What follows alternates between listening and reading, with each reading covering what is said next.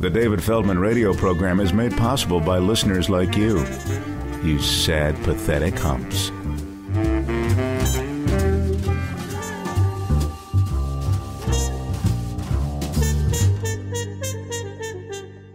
This is a bonus episode of the David Feldman Show on healthcare.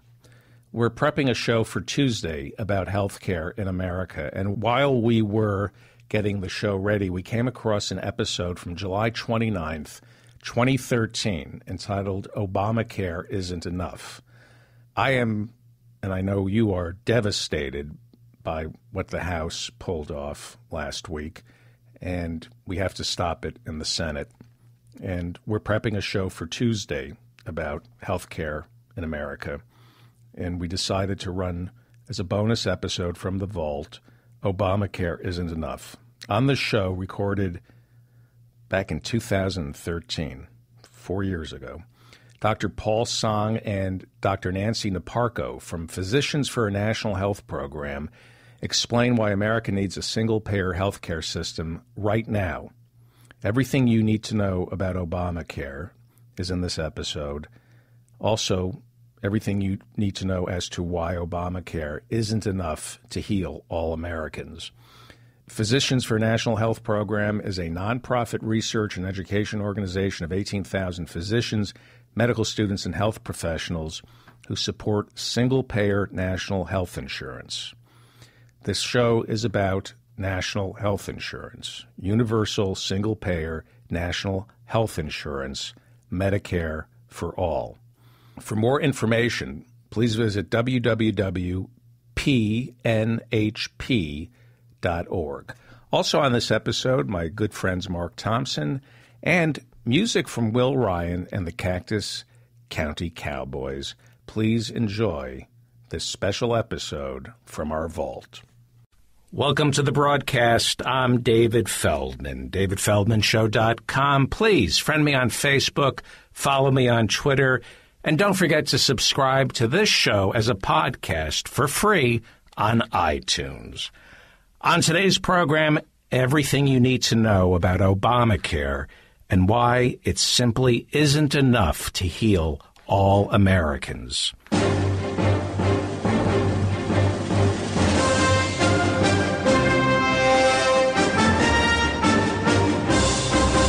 On today's show, everything you need to know about Obamacare and why it simply isn't enough to heal all Americans.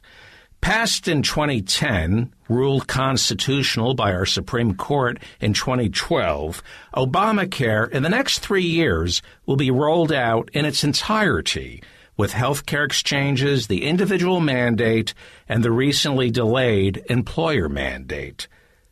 But what does this mean for you? Healthcare is like cancer or heart disease. We don't want to think about it until it happens to us. Unfortunately, just like cancer and heart disease, sometimes it's too late to think about it. Trillions of dollars are earned every year, making us sick and then healing us. And it is in the best interests of the individuals who get rich off of health care to make health insurance so complicated, you just throw up your hands and surrender to whatever your insurance provider is willing to give you. Obamacare is a start, but it's not enough. On today's show, we will meet two physicians representing Physicians for a National Health Program, www.pnhp.org. Physicians for a National Health Program is a nonprofit research and education organization of 18,000 doctors, medical students, and health care professionals who support a single payer national health insurance system here in America. www.pnhp.org. Today, they will patiently walk us through Obamacare and show us why America needs to join the rest of the industrialized world and evolve into some sort of single payer system. Healthcare in America stinks. We lag the industrialized world in everything when it comes to healthcare except one thing spending. Because we've been infantilized by the media doing corporate America's bidding, we choose not to understand how exactly health insurance works, like I said, until it's too late. One of the primary missions of this program is this to teach you, especially young people, that we are not stupid, that we are being made to feel stupid by the people who want us to be confused, who want us to remain in the dark so they can continue to make trillions of dollars. On today's show, I talk with two brilliant physicians representing Physicians for a National Health Program, www.pnhp.org. And near the end of today's show, I asked them a very simple question. I asked, What is harder for you to get your arms around? Organic chemistry or understanding how our health insurance system works? Immediately, they both agreed that our health insurance system here in America was harder for them to understand than organic chemistry. Now, if our brightest Americans don't understand our health insurance system, there's a reason for that. On today's show, you will learn the difference between single payer and socialized medicine, the difference between Medicare and Medicaid, and how exactly Obamacare works and why it isn't enough. You will learn why it's important for all of us to go to www.pnhp.org every day and join our physicians in their fight to bring medicine to all Americans. Because health care is not a privilege, it is a human right. America, you need to be angry, and we need to fight. The government is right. There is a terrorist among us, but it's not Al Qaeda. It's the health insurance sector. We need to put WellPoint and their ilk out of business. Osama bin Laden could only dream of killing as many Americans as WellPoint and their ilk have. This is the fight of and for our lives. We need to get angry we need single payer. But first, we need the one thing they don't want us to have the facts. Healthcare in America is a disgrace for two simple reasons their greed and our ignorance. We can't change how greedy they are, but we can change our ignorance. www.pnhp.org Physicians for a National Health Program. This morning, we're doing the heavy lifting. Grab a cup of coffee, everything you need to know about Obamacare, and why it's simply not enough. But first, new music from Will Ryan and the Cactus County Cowboys.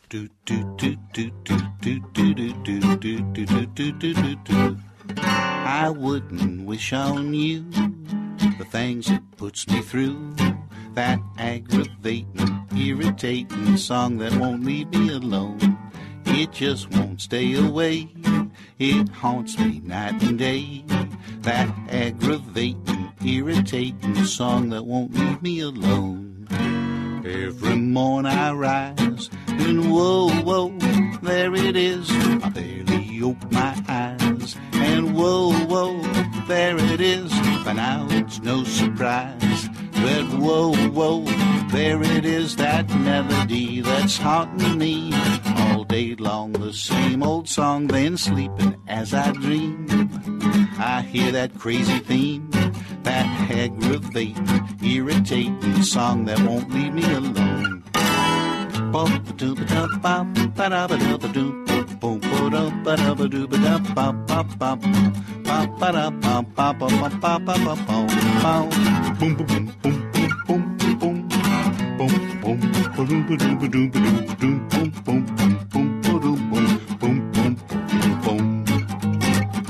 Every morning I rise and whoa whoa there it is I barely open my eyes And Whoa, whoa, there it is by now. It's no surprise that, whoa, whoa, there it is, that melody that's haunting me all day long. The same old song and sleeping as I dream.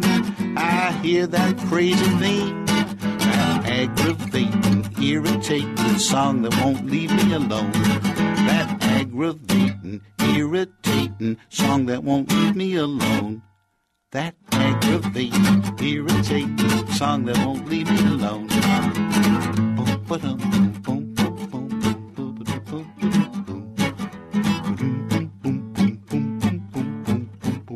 Boom, boom,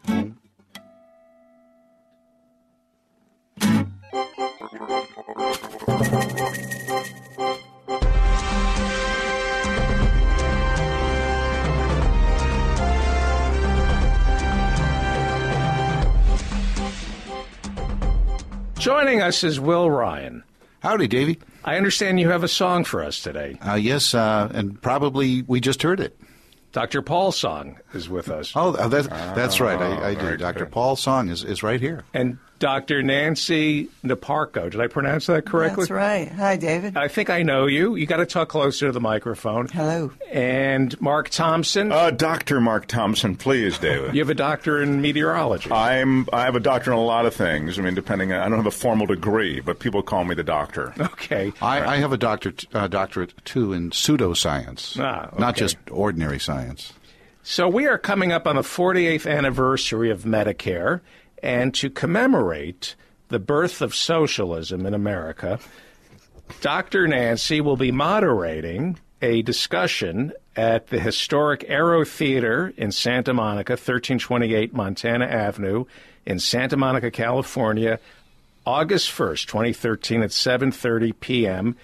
And one of the featured speakers will be Dr. Paul Song, who is an oncologist, and both of you represent PNHP.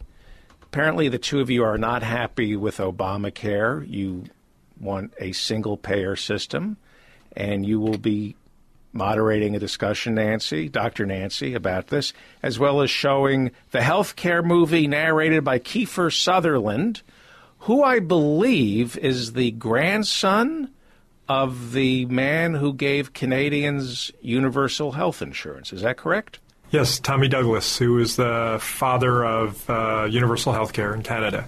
That was his grandfather. His grandfather was Tommy Douglas? Tommy Douglas. And that got passed, what, in the 60s? It was, well, completely implemented in the early 70s. Initially started on a province basis in uh, Saskatchewan and then kind of spread like wildfire after that. And that's sort of the model that we hope to duplicate here in the United States. Trying to get anything done through Congress is going to be pretty difficult, especially with the dysfunction that exists there. But if we could pass it such in a state like California, and then perhaps people would see that it really works, then implement it on a state by state basis. Right. And just so I know, the universal health insurance in Canada was passed in the 60s using a plan that was developed for America, if I'm not mistaken. Well, the the idea was that it was initially called Medicare as well, like ours was, except instead of just doing it for seniors or disabled people, it was for the entire population. So they took it one step further.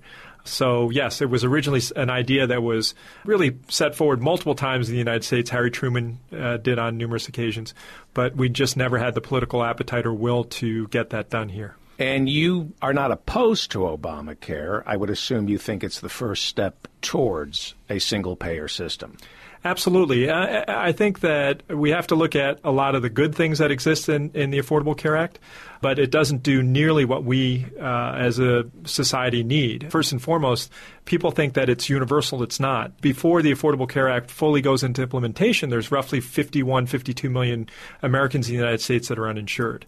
The Affordable Care Act, prior to the Medicaid Supreme Court ruling, was only designed to insure about 32 million of those people. 16 million of those people were going to be get coverage through the individual mandate, which is really only 5% of our whole country, but yet everyone thinks the individual mandate's uh, this massive hand of the government coming down on everyone, but it's only 5%. The remaining 16 million were supposed to be covered by the expansion of Medicaid. So in its best situation, 32 million out of the 51 million would be insured. The problem was that now with the Supreme Court telling certain states you don't need to accept Medicaid, it's actually going to be less. All the undocumented are not covered. And so when it's all said and done, the feeling is that we may have still 30 million uninsured by 2022. So it's almost like whack a mole. You're starting to solve some problems, but you're still having a, a, huge amount of people that are uninsured, which are going to continue to drive everyone's cost up. In the next two years, we're going to see the fruition of Obamacare, basically. I guess they the employer mandate has been pushed back a year. But tell us the good. What is the good that's about to happen or has been happening from Obamacare before we talk about how it falls short in so many ways? I think the, the, the, good things are actually the things that have been implemented already. So people, kids under the age of 26 can stay on their parents' plan no rescissions, which means an insurance company cannot all of a sudden pull your care from out underneath you when you get sick because of some quote questionable reporting that you did on your application, or they come up with a million reasons. There's no lifetime cap on what an insurance plan will pay for your coverage. What do so, you mean, no lifetime cap? So let's say you you're somebody who had chronic medical problems. You might have been born with a rare genetic disorder that cause you to require a transplant. And after the transplant, you developed all of these other subsequent problems. Most insurance plans had a lifetime cap. So if you had a lot of illnesses, let's say somebody is, is a child who's born with something and has multiple surgeries, by the time they're in their 20s, they've already exceeded that. Let's say it's about a million dollars. So any additional expense that they have moving forward, they wouldn't be covered by their insurance plan. No, I didn't realize that. That's and, interesting. And, and who would end up paying for that? Well, most of the time people would go bankrupt, or the government would have to pay for that because the uh, they would be quote uninsurable at that point. So as a result, one of the good things of when you say the government, Medicaid, Medicaid would have to cover somebody like that because their private insurance met their maximum sort of responsibility. So one of the things that's happening with this is there's no longer any lifetime cap. So if you or I get sick and we continue to get sick, that insurance plan will have to take care of us for, for whatever, or at least until we're 65, and they'll probably try to kick us off in, into Medicare at that particular time, if we're lucky to live that long. So that's a really, really, that's really great. The second thing pre-existing is conditions. No pre-existing. So now, if you have had a heart attack and you switch jobs and you were uh, given one insurance plan through one employer, but now you have a new job, that uh, insurance coverage cannot deny covering you because of your pre-existing condition. You're an oncologist, correct? If you're treating somebody, uh, I'm being glib here, and I apologize. If you're treating, I'm not going to make a joke. Uh, you were going to make a crack about me, weren't you, Dave? No, no, no. If you're treating somebody, am I too defensive, doctor? Do you think I either doctor? Am I too defensive? When did the pre-existing condition factor kick in? Is it is that in now? Do insurance companies have to? yes. You... So that all of those things. Uh, that's so kicked every, in now? Yeah. So the the the individual mandate, the exchanges. That's what's coming up in 2014. Okay. But so in 2014, when, when President Obama signed the original bill two years ago, all of those immediate things. So no rescissions, no lifetime caps, no pre-existing conditions. You can stay on your parents' plan until you're 26. The other thing is seniors who are in Medicare for preventable uh, preventative care, checkups, and exams. That's all now covered by the Affordable Care Act those are the, the real positive things that I think both Republicans and Democrats can agree on that were things that we really needed were the things that were implemented. Well, Republicans will not agree on that. They're All, if it was yeah exactly if it if it was um, proposed by the Heritage Foundation or Bob Dole or any of the other people that had proposed this in the past, Mitt Romney, it would have passed in a heartbeat. That's the thing that I always say that that we didn't get a Democratic plan. We've got a rehashed uh, from the Heritage Foundation. Foundation exactly. Yeah. So if you have terminal cancer and you were one of the people who didn't have health insurance you could go to Blue Cross and they would have to give you health insurance. Yes, but the, the tricky part is that doesn't mean you could afford what Blue Cross would cover. So up until 2014, most states, and this has been covered by the federal government, have set up catastrophic insurance for people such as the. Okay, the, you're the going case. a little too quickly because okay. I'm only a human being and sure. I, I know how brilliant you are. right, Mark right, and I were following it. Yeah, I didn't have any. I didn't have any problem with it actually. But go ahead. right now, Right. right now in 20 again. What year is this, doctor? 2013. Very Boy, we good. do have to Okay. go slowly. Uh-huh. right now or last year, if you had terminal cancer and you wanted insurance for the first time, could Blue Cross charge you an exorbitant? Yes. And the then re- what happens two years from now? Does that? So up and so let's just deal with right now for somebody who has cancer who wasn't who didn't have insurance.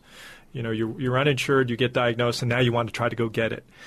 You could conceivably get it through Blue Cross because they cannot deny you for a pre-existing condition. However, the, they probably would charge an exorbitant fee that you probably couldn't afford. it Okay. what the government has done until the exchanges are fully up and running, which is the competitive marketplace, is they've given states money to set up a catastrophic plan for people such as that. Matter of fact, the LA Times, I think it was about a year ago, illustrated somebody who lived in the valley who came down with the exact same scenario breast cancer, uninsured, was unable to get coverage at that point that she could afford. But through the federal subsidy that is currently there until the larger exchange is set up in California, she was able to purchase insurance. So the federal government is picking up the slack until the states agree to set up these exchanges. A majority of states are controlled by Republicans. Correct. With governors and legislatures that are all Republican, many of whom are saying they're not going to set up these exchanges. So the federal government steps in if the Republican states refuse to set up these exchanges. Won't that lead eventually to single payer if haven't I read somewhere that the Republicans are really shooting themselves in the foot by not setting up these exchanges because people will turn to the federal government and we will have a de facto single payer? I wish it was that easy, and um, So do I. Uh, I, I don't know if that will fully happen. I think the rationale or the thinking behind that argument was that the Affordable Care Act is truly still the closest thing to a free market healthcare system. You know, it's a big subsidy to the private insurance industry, which is a, still a private for-profit insurance industry that only makes money by denying you and I care they're still the entrusted gatekeepers of this big Affordable Care Act. It's not socialized medicine, it's not the government. So the feeling was that if these Republican governors really stand in the way and cause it to just collapse, or the other hand is that um, insurance rates continue to rise for the rest of us who have insurance, that there'll be such disdain and such uh, anger towards the existing system that people will call for something much more aggressive by the government. That is some feeling behind it. I don't necessarily think that, or, or there's been uh, also other editorials that this deliberate undermining by the Republicans, not only in terms of not setting up the exchange, but now they've just, I don't know if you heard, they lobbied the NFL not Right. to uh, Endorse- endorse to- to tell to help enroll people in the Affordable Care Act. The marketing campaign that the NFL was trying to right, they was essentially just using the ball players to help explain certain aspects of the new plan. Whenever Yeah. I need medical advice, I always turn to the NFL. I want, what's the latest from people who've suffered massive concussions? I need medical advice from them. But this deliberate undermining, I think, is actually going to come back in some ways and shoot themselves in the foot. I think that, particularly in the states like Louisiana and Texas, that have huge, huge uninsured populations that could have truly benefited from the Medicaid expansion. Uh, at some point, people are going to realize these people do not have our interest at hand, regardless of ideology. They haven't gotten hip to that yet, it would seem, but you know. For our, for our listeners overseas, and believe it or not, here in America, more likely here in America than overseas, what is Medicaid versus Medicare? Who set up Medicaid? So Medicaid uh, came slightly after Medicare. Medicare was uh, launched in 1965, which was a great year. It was the same year I was born. I'm actually two weeks older than Medicare. Um, And that was really designed for seniors and disabled. And the feeling was back in uh, 1965 or prior to that, 51% of all people over the age of 65 were uninsured because most people got their health coverage through their employer, and once they retired, there was no safety net for them. And one out of every three seniors was also living in poverty. And why was that? Because most of them, as they got older, they were spending a lot of money on medications and doctor fees and all those things. And it was really part of the Great Society with uh, Lyndon Johnson, and really was initially shepherded by Truman. I think Truman was really the first person to try to do this. So that was Medicare. Medicaid was then started afterwards for low income, poor people that were under the age of 65. What year would that be, roughly? Uh, I think it, it was, was just a couple a couple years later, maybe 1967 or 68. I don't have that offhand. And they we can't expect him to know everything. Right. He was only two years old at the time. okay. and Medicaid relied on the states, whereas Medicare really is more of a federal federal government, big big government, and Medicaid is you depend on block grants from right. each individual state to administer it any way they see fit. So Medicare is we all pay into the system with our payroll taxes, and that money goes in to fund Medicare. Whereas for if you're poor and don't necessarily have a job or you are below the poverty line, you're not paying much tax, if any tax at all. So they can't necessarily fund that. So Medicaid is actually a partnership where the federal government gives 50% and then the states pick up 50% of the cost. The, the, the thing with the Medicaid expansion with the Affordable Care Act was that for the first several years, the federal government was going to give 100% of the dollars for Medicaid expansion. And then I think after three years, it was they were going to fund 90% at least for the next five to 10 years. That's, that was free money that was coming in. And so a lot of people argued not only would that help uh, with the uninsured populations in their state, it would also create jobs in their state, just in terms of the additional healthcare workers you would need to now take care of these people that were uh, insured, the uh, administrators to deal with the processing of that. So this was actually a potential stimulus for each of these states, and particularly the Republican states that really, when you look at the amount of poverty that exists in their states, the um, regardless of what uh, Rick Perry says about the job creation, most of those jobs are minimum wage jobs. This was something that really would have been a benefit to their state. But eventually, they would have to go off the federal teat and pay for it themselves. Although that's it's not been stipulated when that would happen. And it, at the worst case, it would be a 50-50 split, and that's what Governor Brown was really worried about here in California. He's actually been to the right of some Republican governors on the Medicaid expansion. But at least for the next foreseeable future, we're talking at least uh, the next 10 years. The maximum that the state would be responsible for is only 10% of the entire bill. Okay, now the Affordable Health Care Act is also Obamacare. It used to be a pejorative term, but now President Obama calls it Obamacare. We've seen it working in Massachusetts since Romney installed it. How's it going for people in Massachusetts? It's it's it's been I would say there are mixed things in this. Obviously, the number of uninsured in, in the state of Massachusetts has dramatically dropped. I think it's anywhere from 1% to 3% of the whole population of the state is actually uninsured. But what's also interesting is, and this is the criticism I have with the Affordable Care Act, is that if you look at the number of medical related bankruptcies, they've continued to climb and that was one of the claims that's being touted by a lot of Democrats. This is going to reduce bankruptcies. That's not the case. Um, in 2012, there were 4 million bankruptcies in the United States. Uh, and 66% of those 4 million were due to medical illness. Out of that, three quarters of those people had insurance. The idea that having insurance will protect you from medical related bankruptcies is actually, I wish it was not the case I wish it was the case, but it won't. I had neck surgery. I had a herniated disc uh, operated on three months ago. I have the best PPO plan. Um, I, what is PPO? Uh, it's a paid provider uh, where I can go see whoever I want. Don't need pre-authorization and and and and and very low deductibles. Right. But I still, in the end, had twenty thousand dollars of out-of-pocket expenses myself.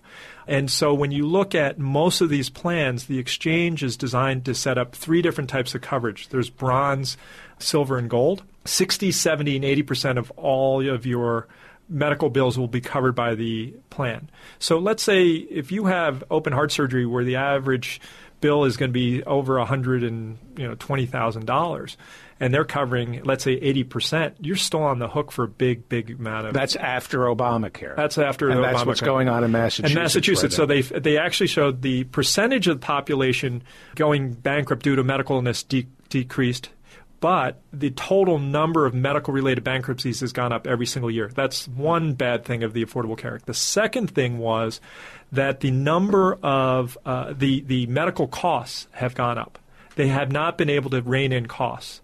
And that is another problem. But the rate of increase has gone down slightly but but but if you really look at you know that's which was really touted during the affordable care act the bending of the cost curve Massachusetts is really running out of funds now. Um, they're they're really running into financial problems. So much so that Deval Patrick started to call in the governor of uh, Massachusetts right. called in a uh, sort of emergency session to try to find a way to stem. Uh, and greatly reduce these costs because it, it, it's not sustainable for the state of Massachusetts. And that isn't necessarily the insurance company's fault. Steven Brill had a great cover story in Time magazine three months ago about hospital costs. You know, they once tried to audit the Pentagon and they couldn't do it. You know, there's a, here, here's a trillion dollars, just spend it. We have no idea where it's going. Doctors, hospitals, they can't tell you where the money's going or why an aspirin costs 700 bucks. Somebody just goes into the back room and just says 40 bucks for a sponge. This is the David Feldman Radio Network.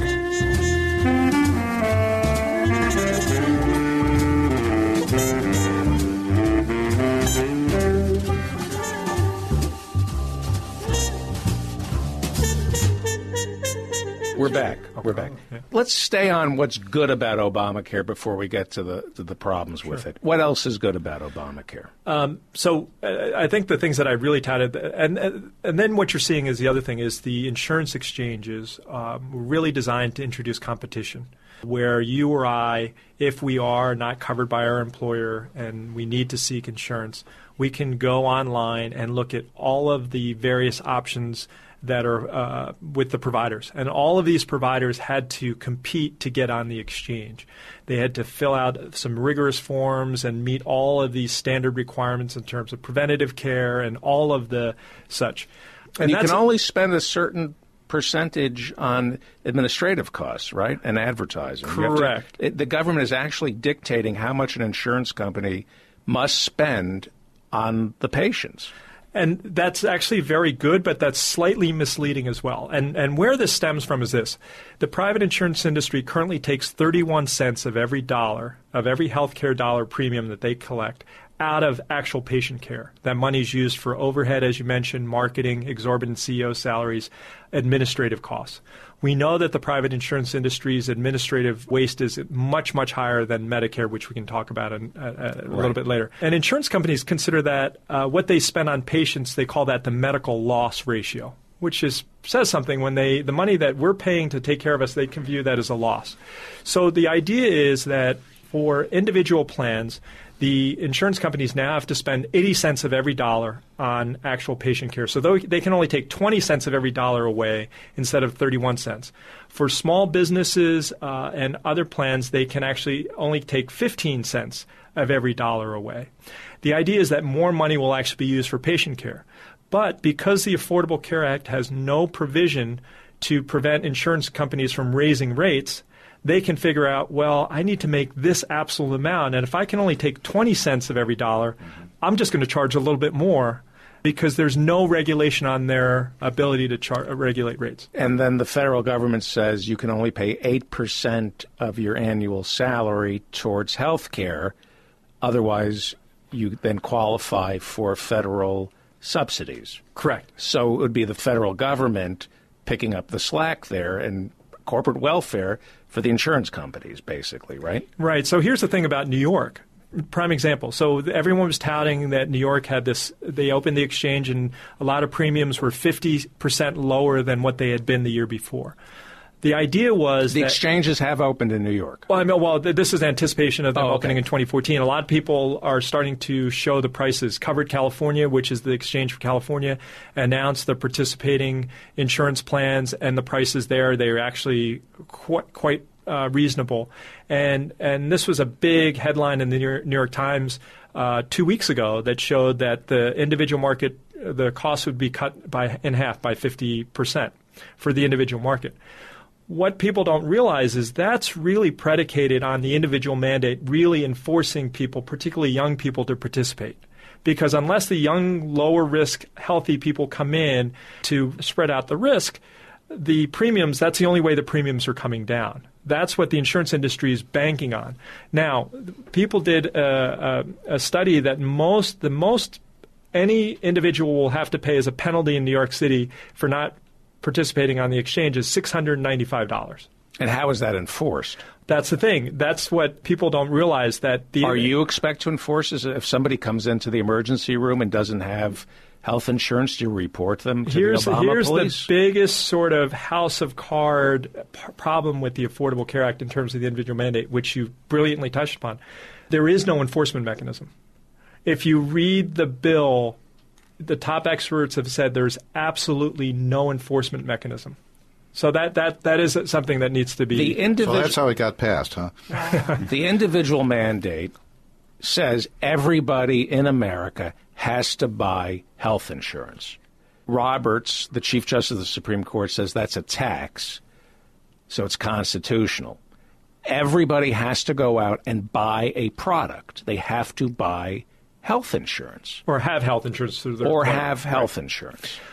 But but the actual, if you really carefully read this, and there have been several people that have actually published essays on it, there is no enforcement mechanism there. It sounds good, but there's nothing that says the IRS has to come after you and put a lien on your wages or anything along those lines. So the idea is that if everybody has to buy health insurance, then young people are covering the costs for old people, and profits for the insurance companies will go up because more people are buying health insurance. And if the profits go up, supposedly the premiums go down.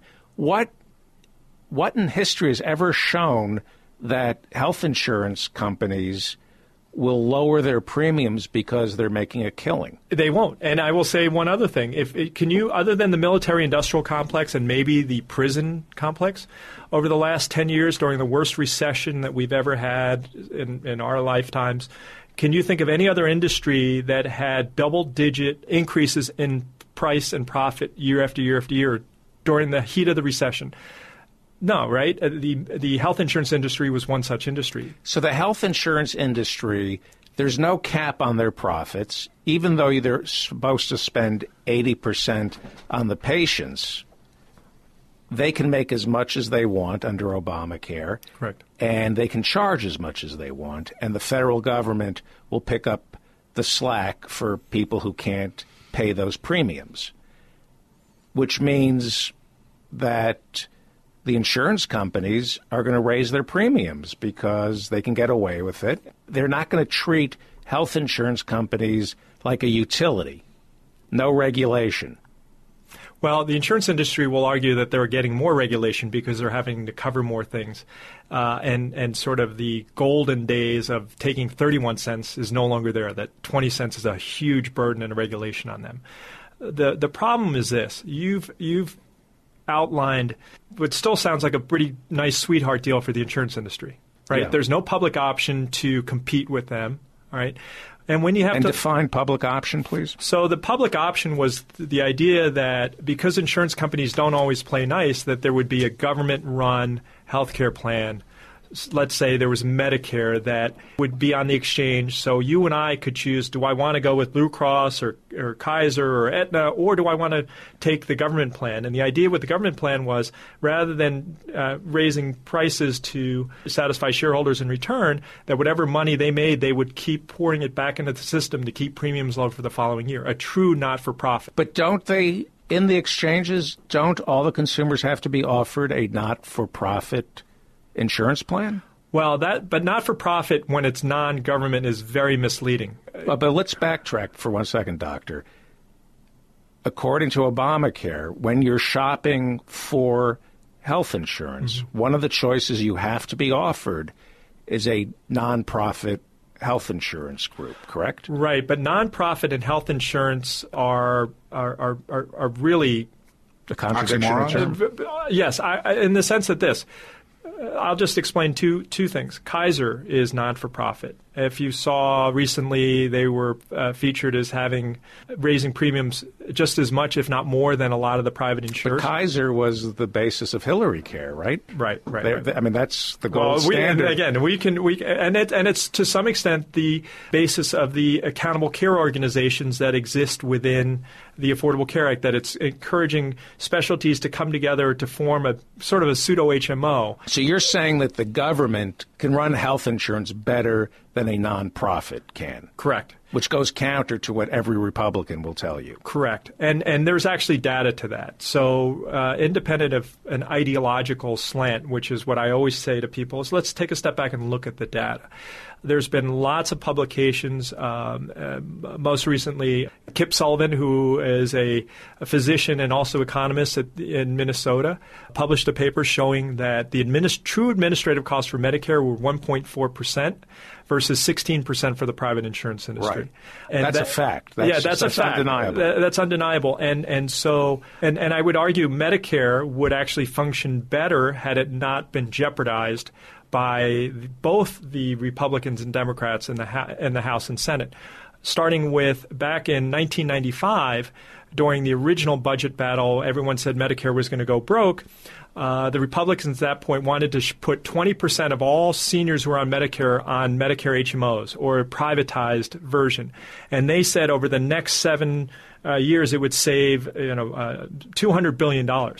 Well, fa- fast forward, it's actually cost over $277 billion more to do that because you had a for profit entity that was being less efficient taking care of these people So than part of traditional Medicare has been privatized. Correct. And that was the argument with the whole Paul Ryan thing with the Obama's trying to cut Medicare. He was just trying to finally say to the Medicare HMOs that we're we're going to pay you the same thing we pay everyone else with Medicare because you have not shown better outcomes and you've only uh, cost more money than what what the traditional Medicare plan can do. Plus, we also know that Excuse Med- me, for, I'm sorry to interrupt.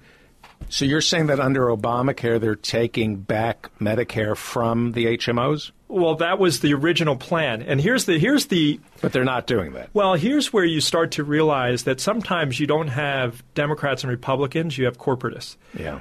Because the plan was that in 2013, starting this year, that they were going to start to cut reimbursements to Medicare HMOs. And, and, and doing so, that was going to be begin the savings of that $877 billion that, you know, that Ryan and Romney kept saying, oh, he's cutting Medicare by that much. But what did Sebelius announce last month? That they were She's Health and Human Services. Health and Human Services Secretary that instead of cutting it like they said they were going to do, they're going to reward them and give them a 3.5 percent increase. So that's further watering down the solvency of Medicare, and that's Democrats doing that. But let's look at what the Republicans have done. First thing was I mentioned uh, uh, starting this whole mess by putting 20% of the uh, Medicare seniors on a privatized plan, which has actually been more costly and less effective. Second thing was Medicare Part D, which was the prescription drug plan. And what people don't realize, and this is what I always, when I get into debates with Republicans and we don't want a government health care program, they passed a much more massive program than the Affordable Care Act. And you didn't hear anyone on the right talk about that. But that's what I think the left needs to constantly bang them over the head and say Medicare Part D is much more expensive on a yearly basis than the Affordable Care Act was. And what that was was, quote, a, a plan to give seniors a prescription drug benefit. What did we find out from that? It was initially started by a Republican House and Senate, uh, and Billy Tauzin was the lead author on that. Where's he these days? He's now the president of Pharma, which is the the the uh, largest lobbying group for big pharma. Uh, making more than $2 million a year is that p- position. Talk about a revolving door. So he negotiates this and then becomes head of pharma. So that, that's what Billy Tauzin did. It was signed into plan. What it does is it prevents Medicare from negotiating bulk prices on drugs. As a result, we're spending about 60% more on drugs than uh, per capita than they are in Canada on our seniors. Right. And, when Obama first proposed Obamacare, who was the first group he made a deal with? Billy Townsend. He was in the door, and they were the ones that said, "We'll give a couple hundred million dollars so that you can air ads." That will be favorable to your legislation as long as you don't allow them to touch the, the existing plan, uh, the the deals we have with with uh, the big pharma. So the drug companies support Obamacare. And they were in on it from day one. Correct. The health insurance companies. They were they on one hand they were against it, and then on the other hand they were in it. And here's the thing that people don't realize: so there are 535 members of Congress. There were over 3,300 registered healthcare lobbyists. So roughly six uh, lobbyists for every member of Congress, and they were spending 1.2 million dollars a day. More was spent lobbying for health care than was on the entire Bush-Kerry election. And that's why the bill, as you mentioned, looks like it was written by the private insurance industry. Say that again. More money was spent lobbying for uh, the Affordable Care Act uh, so that it would be favorable that there would be no public option and all of those things than was spent on the entire Bush-Kerry election. Wow. Yeah. And that's why the bill looks like it was written by the private insurance industry. That's always been the ding on on the on, on the legislation is that it, it's really. I've always heard it's, it was crafted by the insurance com- insurance industry, and now hearing the specifics, it seems that that's the case. Absolutely, and I think that again, uh, so we have to look at the good things that are there that maybe the insurance industry didn't want, which was the lifetime caps, as I mentioned, and no rescissions and pre-existing conditions. But in the end, out of that 800 plus billion dollars, uh, it's estimated 475 billion is going to go to the private insurance industry. Say that again. What? What out of the you know the total cost of the Affordable Care Act is 800 plus billion dollars. Right. It's estimated that roughly 475 billion dollars of that will actually go in terms of subsidies and such to the private insurance industry. But not as profits. No, no, but that's money that's going to be used uh, to go buy their product. Okay. So where else do you see the government taking tax dollars to subsidize people to go buy um, a product from an unethical, and immoral industry that only profits by denying people care? Right. That that's that's that's the problem that that I see. Okay, and going back to Medicare, we're celebrating its 48th birthday. Medicare was monolithic. There was, I, I would assume, it was a much smaller bill, fewer special interests. Lyndon Johnson had a bigger majority in the in the House and the Senate to pass it. Was medicine for profit when Medicare was passed? When yep. did medicine become a for profit enterprise? It's actually been for profit for quite some time now. It was not. Hospitals used to be, I think, weren't they run by the Catholic Church or Temple Israel or a university? They weren't supposed to make money, I thought, at one time. At one well again like like anything it was i would say this there were always uh, very altruistic not for profit truly not for profit hospitals particularly a lot of the catholic hospitals as you mentioned a lot of the jewish hospitals. Cedars when it first opened its mission was really to care for everyone. Uh, and same thing with a lot of the, the catholic hospitals you see. Um, even organizations like Blue Cross and Blue Shield initially came out of really good intentions. So Blue Cross was initially founded in Texas. Um, it was called Burning Cross at the time. simpler times. a lot of the teachers um, uh, they basically got together and they went to local hospitals and they said, "We'll pay you a set monthly fee if you take care of our." Our, our, our teachers. We're talking about, what, what, are we talking about? Like the twenties? Uh, the yeah, in the 1920s, uh, and and and and that's how initially Blue Cross was initially started. Blue Shield was actually started up in the Pacific Northwest, which was a plan for basically lumber workers that they pooled together and they went to groups of doctors and they said, if our uh, workers get sick, we're just going to pay you a monthly fee and then you'll take care of all of them. Right. So both of them were born out of just true free market, really let's let's do something that makes sense, win-win for everyone. Then then probably a lot of people argue that as the it was when uh, during the Nixon administration, he actually tried to uh, clamp down a little bit on the private insurance industry because he saw things were, were, were changing. But somewhere between that period of time to now, and particularly in California with the managed care situation. Um, but it used to be doctors got rich. Right. Doctors were wealthy. Right. Hospital administrators were bureaucrats. And people didn't buy up hospitals to get rich. Right. So somewhere along the line, they figured out a way to monetize healthcare. And, and, and healthcare was much simpler back then as well. Um, you didn't have all these fancy tests. You didn't have high malpractice. You didn't have uh, cutthroat industries where uh, a doctor would move right down the street from you and try to undercut your bill, bills. It was a much, uh, much more civil, much more sort of simplistic but companies like WellPoint didn't exist 50 correct, years ago. Correct. And uh, companies like that really, uh, really happened in, uh, probably in the last 15 years where you had a massive consolidation of the health insurance industry. And in order for your plan, a single payer, to come in to existence, you would have to put a multi billion, if not $1 trillion industry out of business. You can't do that in America.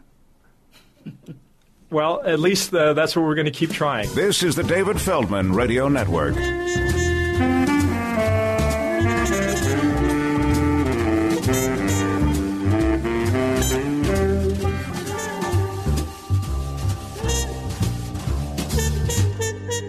The David Feldman Show is available as a podcast for free on iTunes.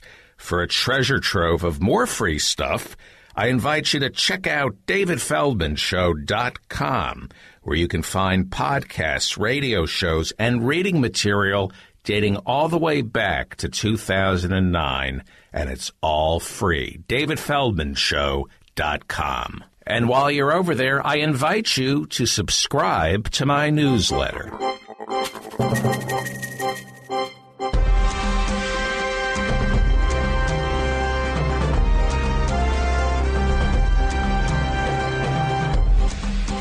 This best that we have. We're back. I, I, I, don't know if we got the last part, but I would assume the health insurance industry, which you say is only 30 years old, is now a trillion dollar a year business, if not more. In order for your plan, a single payer, socialized medicine, to go into effect, you would have to put an entire industry out of business. Um, and in America, they can't do that. You cannot put an industry out of business. It's impossible. Well, we're not going to put them out of business. We're just going to change the focus. They won't be the primary provider.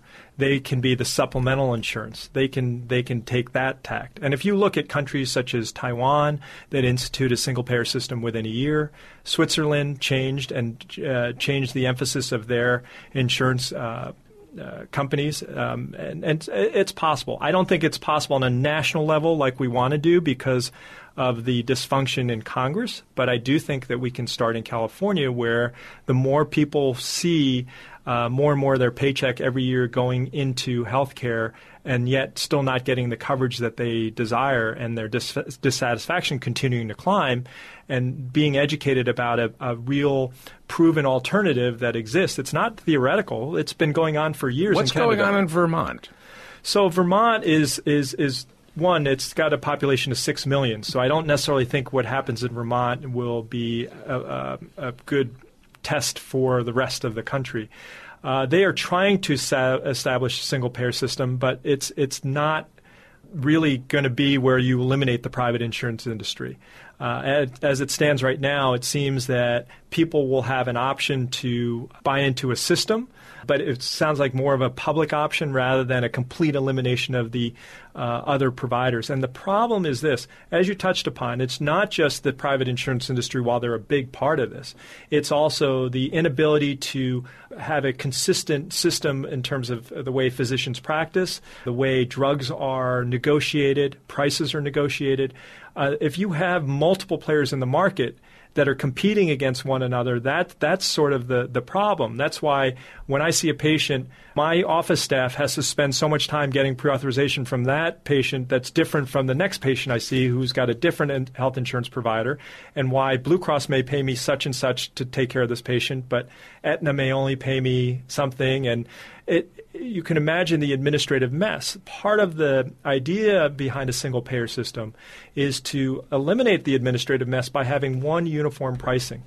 So whether it, you're going to have a hip replacement at this hospital down the street or in Ohio or Florida, it'll be the same price, and the doctor will get the same percentage, the hospital, and then afterwards, the drug that you need to take to recover that will cost the same no matter where you go. The idea is by doing that, then my office staff doesn't have to spend all that time negotiating or fighting for authorization from all Okay. those places. So the administrative simplicity will save the average doctor $70,000 a year in administrative costs. There's been a study showing that. But more importantly, in terms of the, the whole system, that's where the, the great savings is anticipated to be about $400 billion a year. Okay, so there's a lot of blame to go around. I blame people for getting sick. but doctors were against, the AMA was against Medicare. Correct. They actually that they launched Ronald Reagan's career.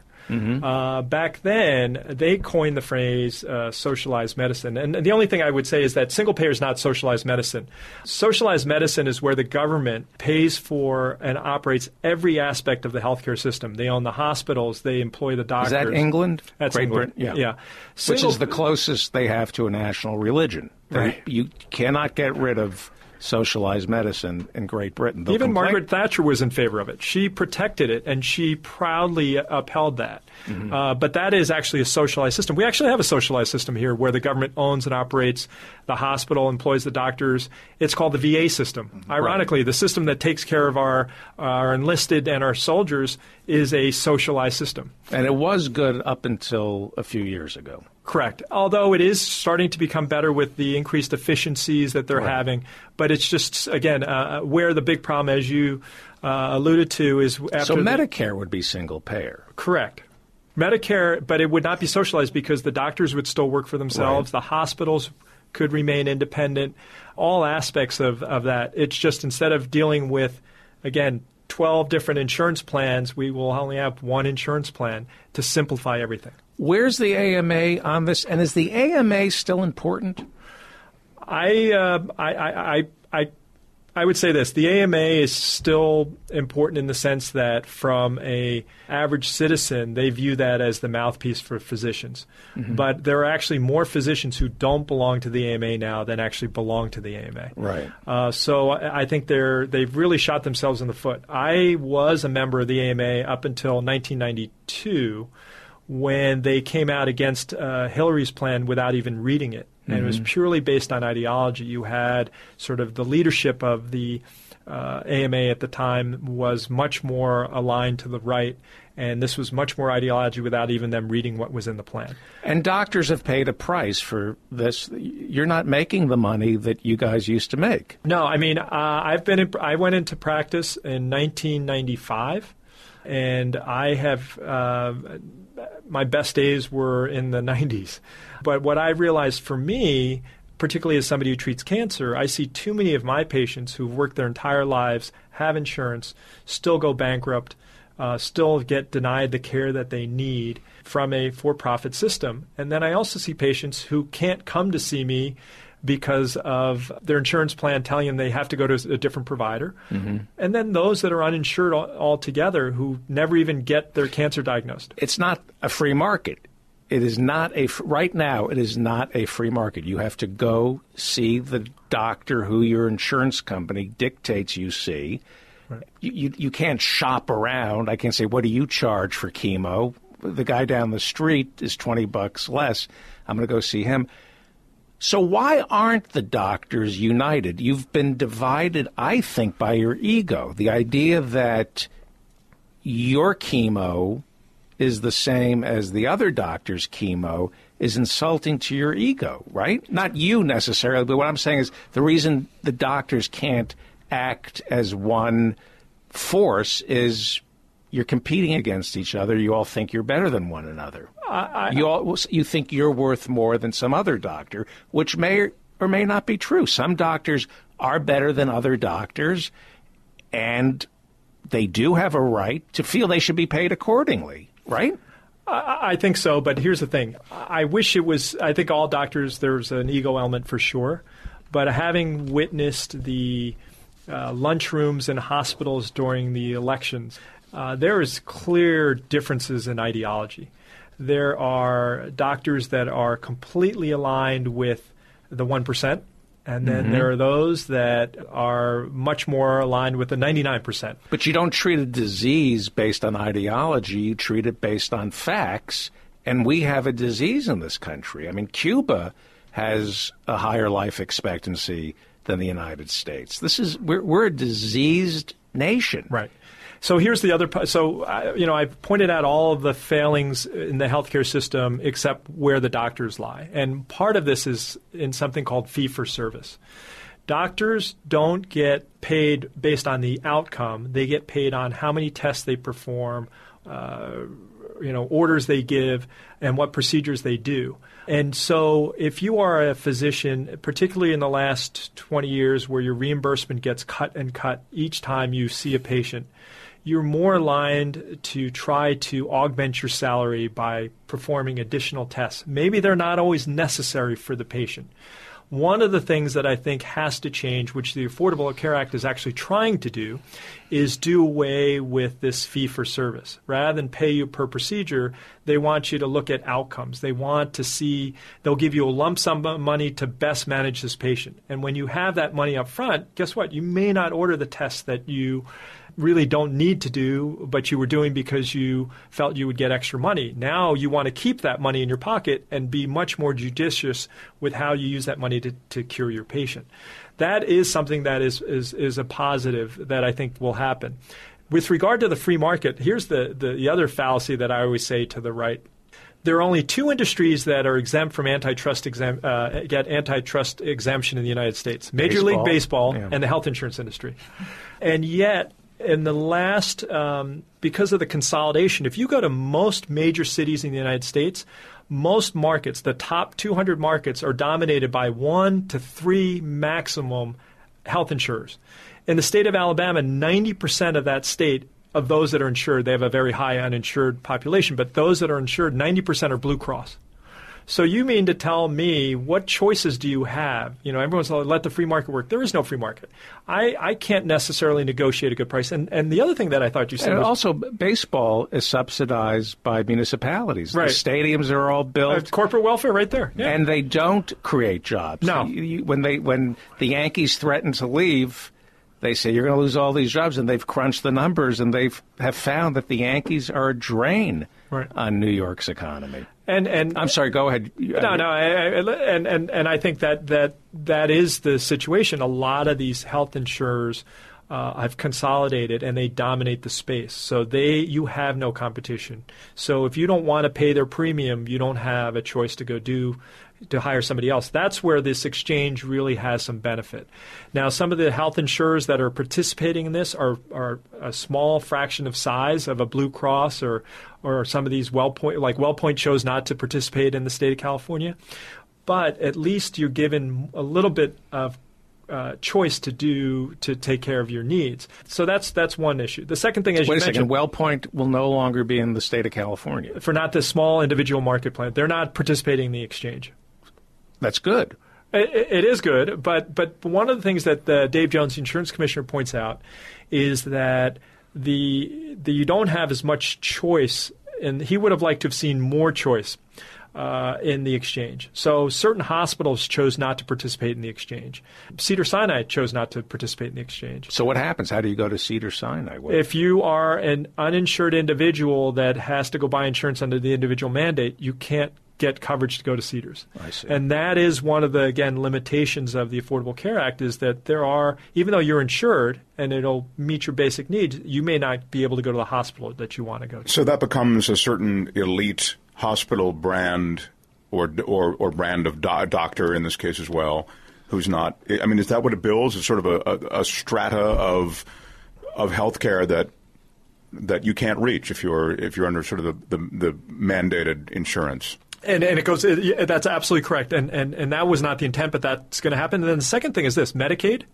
Most doctors, uh, I've always been in a group where we take Medicaid no matter what. But most doctors in the area do not take Medicaid because the state of California's reimbursement is so low. So you're a second class citizen there too. And even What do you have- mean you don't take it? So, in other words, if somebody comes in to see you and they say, "I'm broke," Medicaid is going to pick up the tab here. You you you have to say no.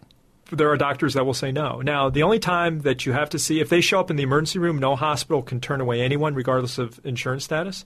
But as soon as they get you stabilized, if you're Medicaid, they will get you out the door and send you to the county hospitals. But Fox News tells me that everybody has health care in this country. So you go to the county At hospital. the ER, they do. Okay, so now you're sent to the county hospital, and you say, you know what, doctor, it's been five years since my last colonoscopy. Why don't we?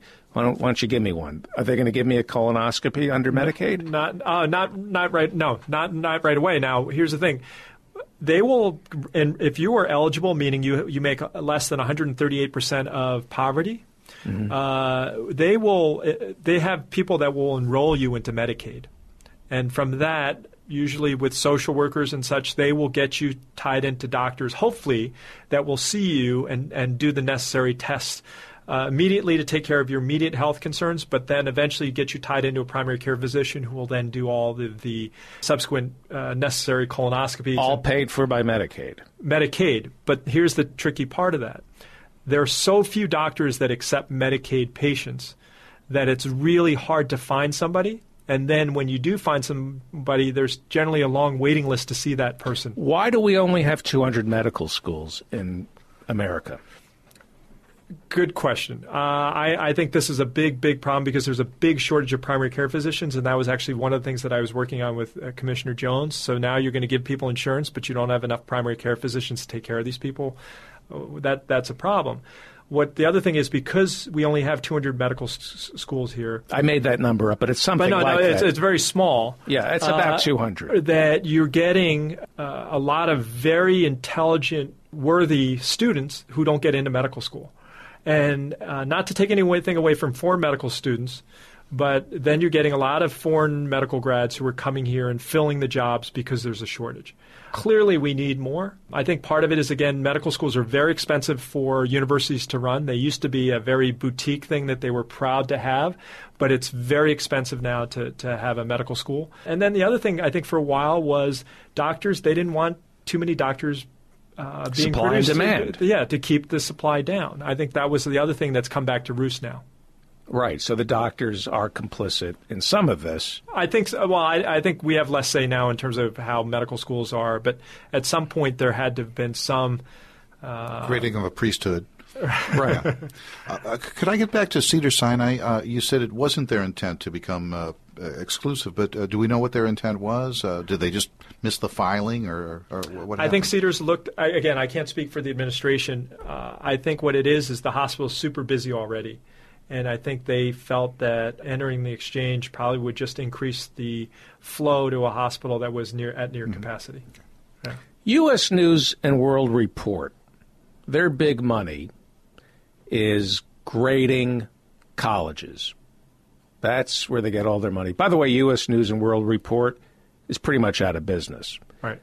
It's all about exclusivity.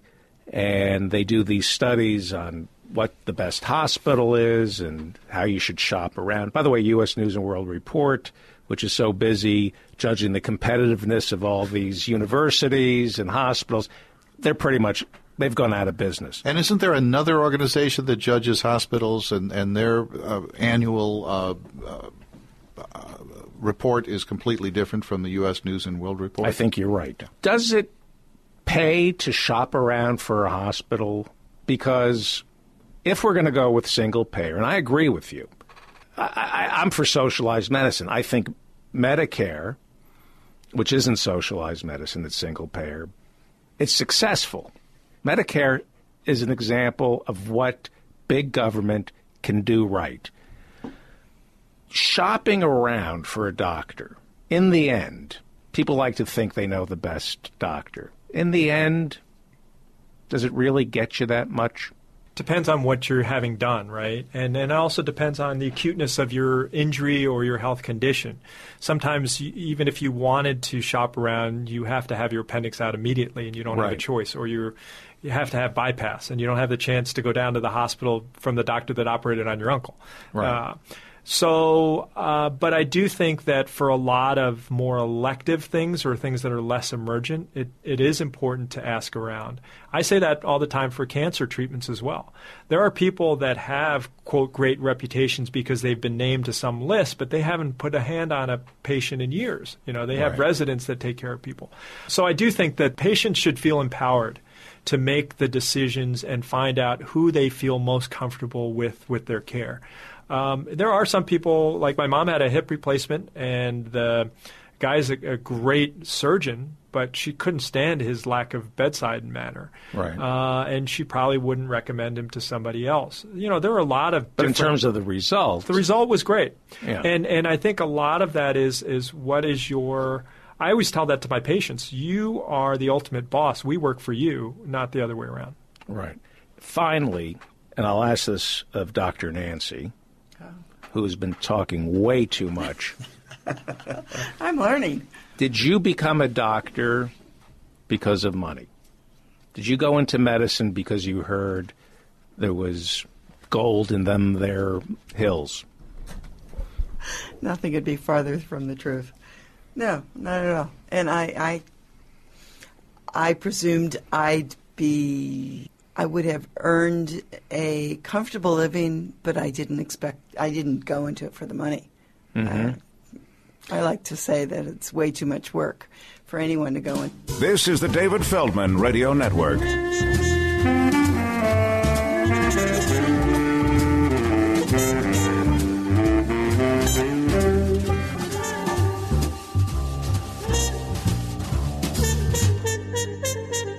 Listening to The David Feldman Show as a podcast but would like to hear it broadcast locally? Please contact your local public radio station and tell them you want The David Feldman Show.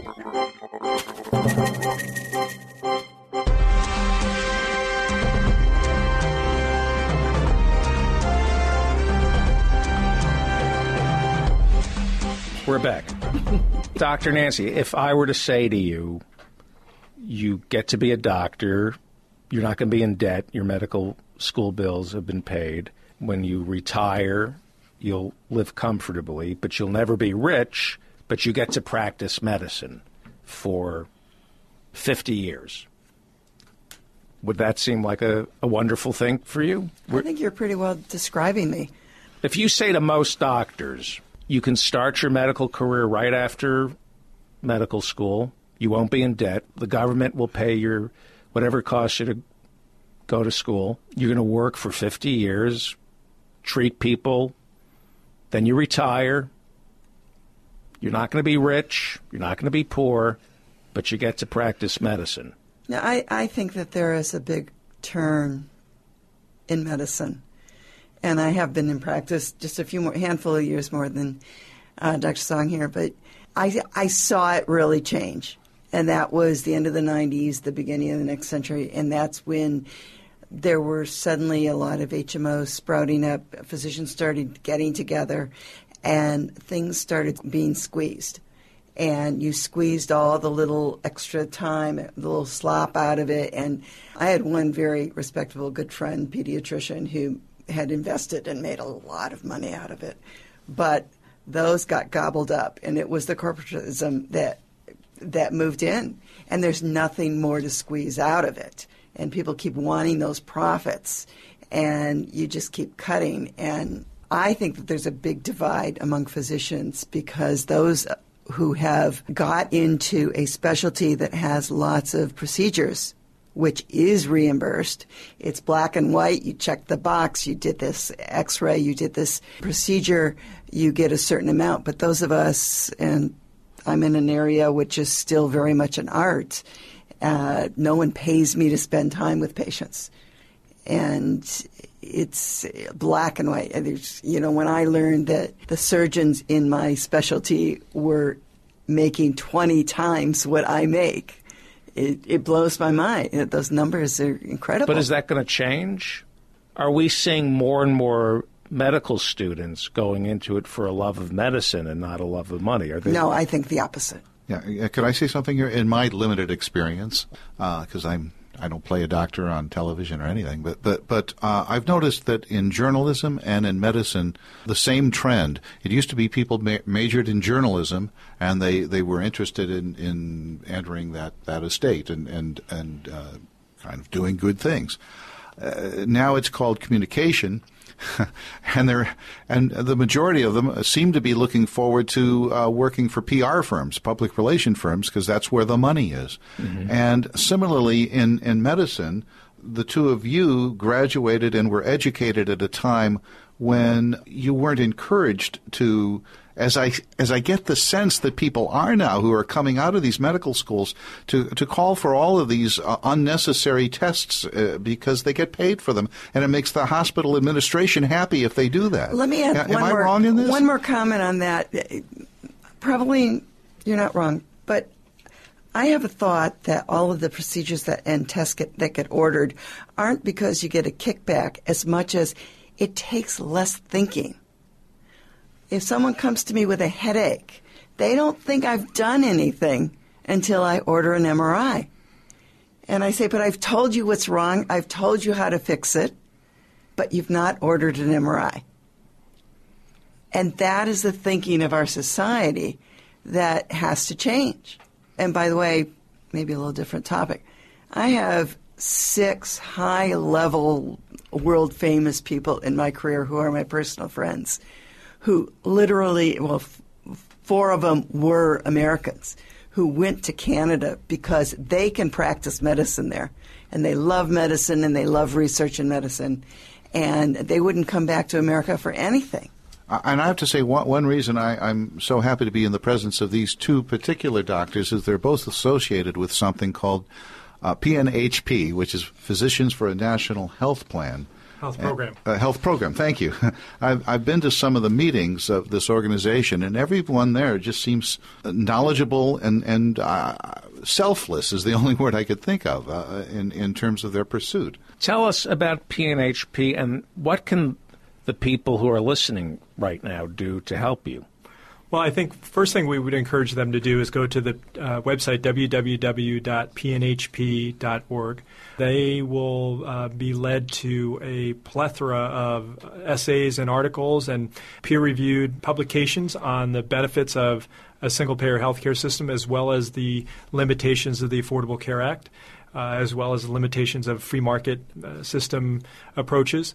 Uh, so that's one of the things that they can do and sign up, and they will get a daily quote of the day. Uh, there's a, um, uh, an amazing um, gentleman by the name of Don McCanne who scours the news services for a tidbit and then breaks it down into a very, very well written uh, and truly informative healthcare policy issue for yeah, on a daily basis. Uh, that's one of the things I would very much encourage people to, to sign up for. And if I'm not mistaken, PNHP is similar to Women in Film and Women in Animation in that neither of those organizations is limited to women. I was surprised to find out. And PNHP, Physicians for a National Health Program, is membership is not limited to physicians. Correct. We often debated whether or not we should change it to healthcare providers or people for a national health mm-hmm. program. It just happened to be launched by physicians, and the idea was initially we wanted to change the minds of the medical community. If we could do that, then you would get a very powerful voice to speak out. But as you mentioned, there are big problems and and and a lack of unity in our community to begin with. But if I were to say that I was a member of PNHP, a woman might think that I was a doctor, and I, in a bar situation, might be able to have a little more romantic cred. I'm just saying. So PNHP could help me in that way by, by becoming a member. A better endorsement I've never heard. yeah.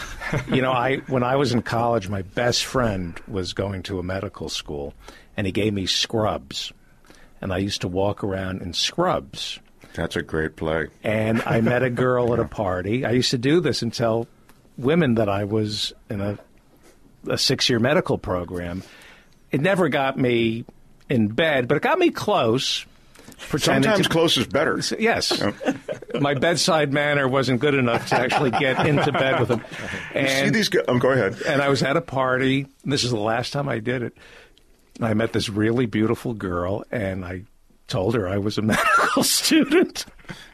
And then she starts telling me about her mother and how sick her mother is. And I spent two hours, Just diagnosing her mother. you know, just comforting her and making up stuff.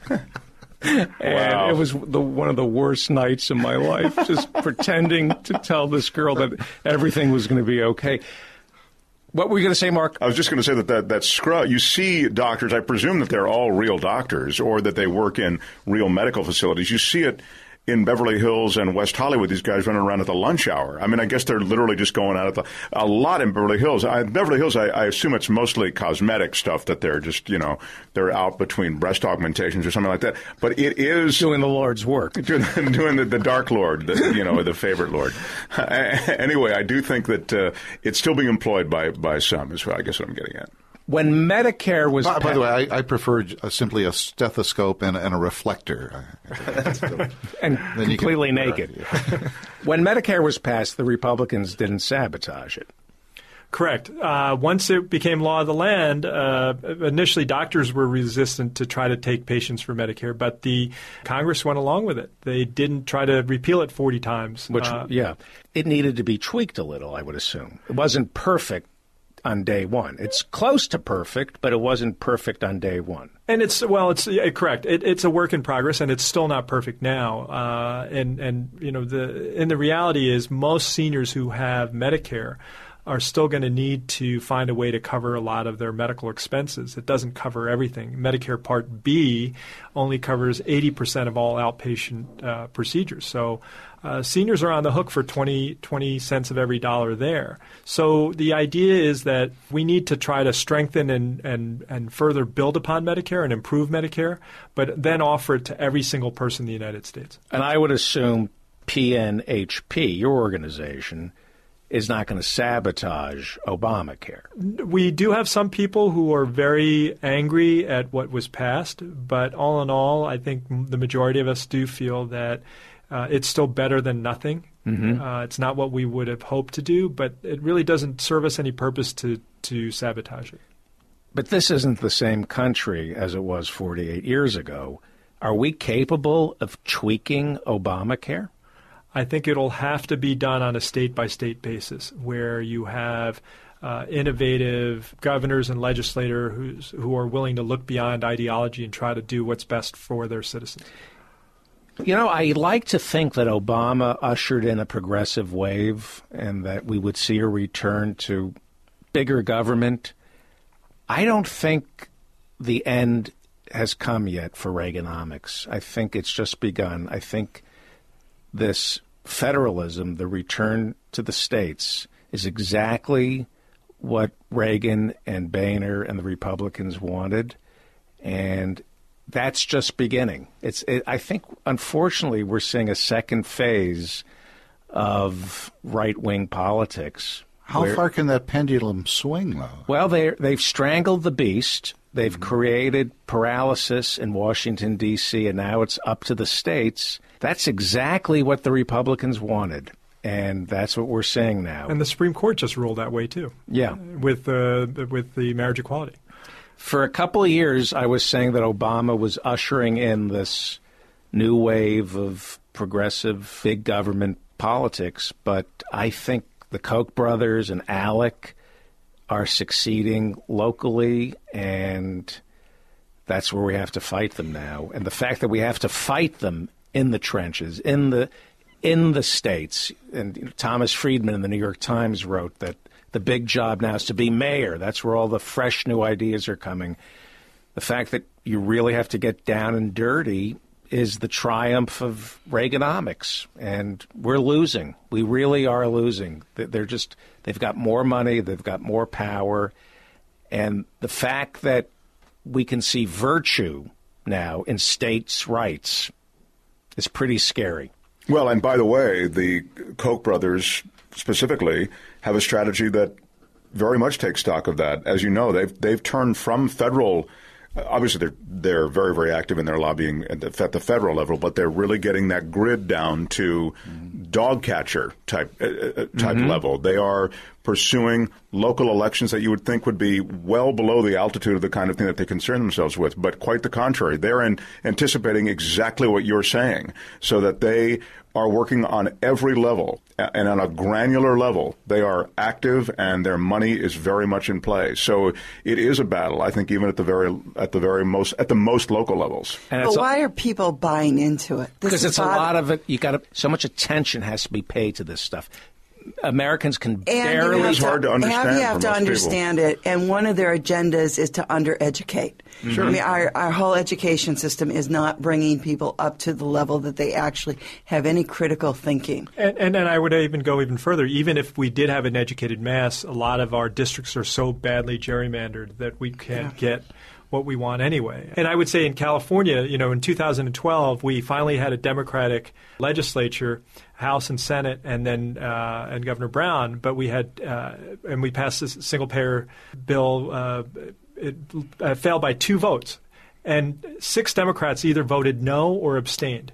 So it's not always Republicans that do that. And when Schwarzenegger was in power, they gave him safe cover because they knew he would veto it. But when push came to shove, these guys were all beholden to the private insurance industry.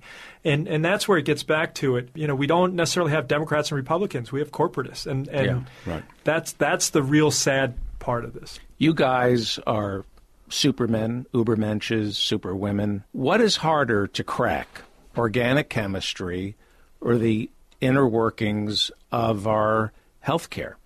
Not medicine, but how health insurance works and how things are paid, that bureaucracy. I'm being serious here. What is harder to understand, organic chemistry or how our healthcare system works? Well, I'd like to answer that. That's uh, that's As a so obvious. cowboy. I'm being, that's a serious question because I would think trying to figure out well point is harder than organic chemistry. Absolutely. Organic chemistry was right there. You study the same pages. This is a moving, a moving event that's changing every day. Uh, uh, you know, rules the, the textbook that, that I was taught organic chemistry in the mid uh, 1980s is probably still the same textbook they're using. Nothing's changed in organic chemistry, but as you mentioned earlier, healthcare has just dramatically changed and for the worse. And if it goes state by state, how can somebody as brilliant as you keep abreast of it? Well, what I think the reason why I'm so focused on California is because we have a supermajority in the House and Senate, and at some point that will pay dividends. And if not, I think as we educate the consumers, uh, that initiative can indeed happen. California is still the eighth largest economy in the world. So if I before I lived in California, I used to resent it when people would say, "As California goes, so does the, the nation." But if you really could show this could work in California, and it's the only place with the political appetite to really make it happen, then I think you will absolutely blow all of the fallacies and myths that have been perpetuated by uh, those that are against it, um, and and people will readily adopt it. Finally, uh, let me just mention that uh, the two of you, Dr. Nancy Niparko, did I pronounce that right? Yes. And Dr. Paul Song will be at the Historic Aero Theater in Santa Monica, August 1st, 7:30, to discuss PNHP, a single-payer healthcare system here in the United States, and they will be screening the movie, the healthcare movie, narrated by Kiefer Sutherland. Everybody should go to www.pnhp and support healthcare org, right? Yeah, .org. org and support healthcare for all Americans. It's a disgrace the way we show up at the WHO, their listings, where we are in infant mortality, longevity. We're not the greatest country on earth. Stop thinking that. We're not. And if you can't make it to the Aero Theater this Thursday, you can go to PNHP website and look it up for to uh, find the showing near you, or it is not too difficult to arrange a showing. And uh, PNHP will very gladly help you arrange a showing if there's not one available. I'll arrange a showing if I could get an exam uh, thrown in, and Yeah. maybe one of the PNHP.org doctors could come by and just do a little. Um, We've got gloves in the car. there you go. Sticking my Finally, mind. finally, you guys have seen the absolute worst as doctors. Stool transplants. Did you ever think you would live long enough to hear of a procedure called a stool transplant? Isn't that? I, I, it's unf- I mean, But there's a reason that it's been tried. There's there's a rationale to it. There's a lot of things you think are pretty gory until you get interested in it and understand it. people donating their stool so it can be injected into somebody else's stomach. Wow. But so, I guess somebody's making synthetic stool, right? Not my area of expertise. That's right. I can I can speak to that with some authority, Doctor. Uh, look, I've got a couple of Bunsen burners fired up on this, uh, David. The research I'm doing. It's a small. Uh, I have a Kickstarter campaign. I'd like to talk to everybody about. Um, artificialstools.org. Thank you, guys. That was great. This is the David Feldman Radio Network.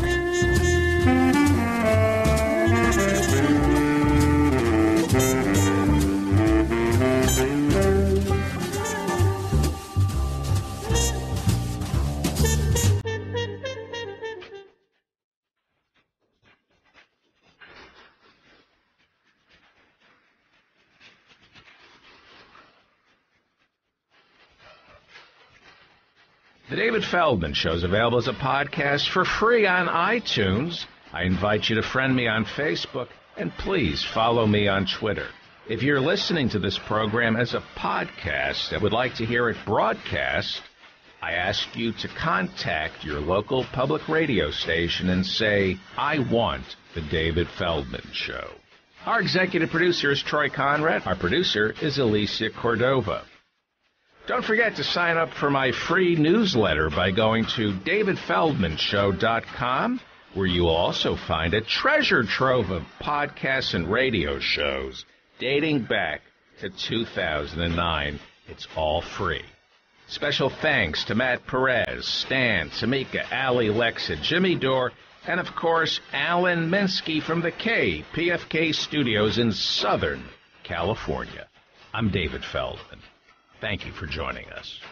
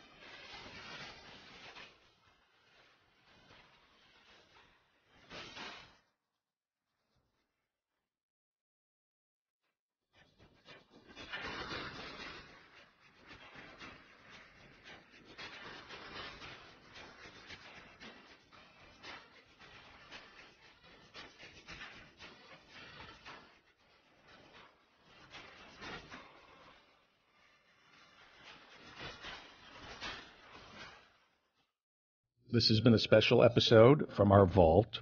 If you would like to hear more shows from our vault, go to davidfeldmanshow.com. There are thousands of episodes. We've been doing this since July of 2009, and there's no paywall. You can access all the old episodes by going to davidfeldmanshow.com. We are curating these episodes, so if you find something you think is interesting, let me know. From the Showbiz Studios in downtown Manhattan, Medicare for All. The David Feldman radio program is made possible by listeners like you. You sad, pathetic humps.